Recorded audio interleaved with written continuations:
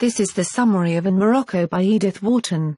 Edith Wharton, the wondrous novelist, wrote this travelogue just after World War I, basing it on a tour she'd made during the war itself.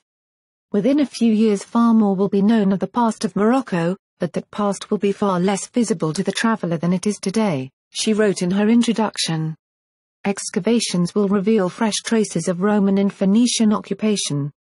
The remote affinities between Copts and Berbers, between Baghdad and Fez, between Byzantine art and the architecture of the South, will be explored and elucidated, but, while these successive discoveries are being made, the strange survival of medieval life, of a life contemporary with the Crusaders, with Saladin, even with the great days of the Caliphate of Baghdad, which now greets the astonished traveler, will gradually disappear, till at last even the mysterious autochthons of the Atlas will have folded their tents and silently stolen away.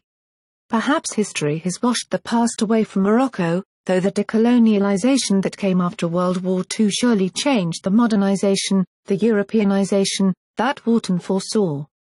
This tour book from an important light in modern literary history is an important bit of business. If you've an interest in Wharton or in the Barbary Coast, it's best you not miss it.